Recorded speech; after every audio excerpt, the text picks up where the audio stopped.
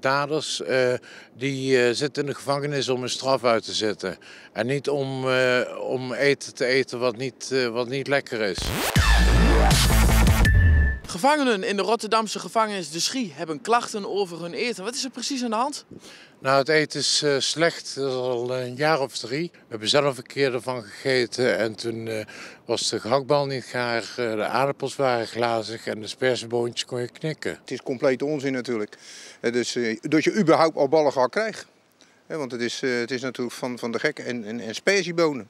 Verse sperziebonen die die nu goed knakken. Ja jongens, uh, ik ken een heleboel mensen bij de voedselbank die, daar, uh, ja, die daarop zitten te springen. Het is vaker hetzelfde eten wat je krijgt. Waardoor gevangenen eigenlijk zeg maar, het eten weggooien en zelf gaan koken. Jij bent kok. Wat adviseer je hen wat snel te maken is en gezond? Uh, nou, zo'n uh, Wiener Schnitzeltje gaat er altijd makkelijk in. Lekker pureetje, daar kan niks aan fout gaan. En uh, natuurlijk gewoon lekker wat boontjes. Ik zou beginnen met het schillen van de aardappels. Maar dat kunnen ze denk ik wel. Die zijn heel handig met mensen daar in de gevangenis. Ja, zeker wel. Ja, het zijn toch criminelen. Moeten we daar eigenlijk medelijden mee hebben? Ja, natuurlijk. Daders uh, die uh, zitten in de gevangenis om een straf uit te zetten. En niet om, uh, om eten te eten wat niet, wat niet lekker is. Het is wel een, een, een ja, de wereld op zijn kop.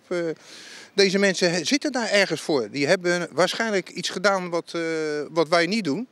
En daar word je dan voor gestraft. En daar, daar, daar zit wat aan vast. De peultjes, twee minuutjes even in het water en dan zijn ze lekker kroky en lekker. Heel simpel? Ja, heel simpel. Echt super simpel. Wat moet er nu gebeuren? Geef uh, de ingrediënten maar uh, aan de gevangenis en laat de mensen zelf maar koken. Het is nog goedkoper ook. De schnitzel bak je eventjes uh, om en om, goudbruin, tot hij een beetje lekker begint te, te, te brullen en zo. En dan, ja, super makkelijk. Moet ze lukken?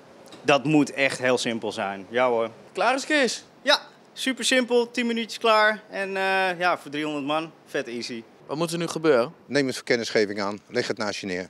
En gaat over tot de orde van de dag.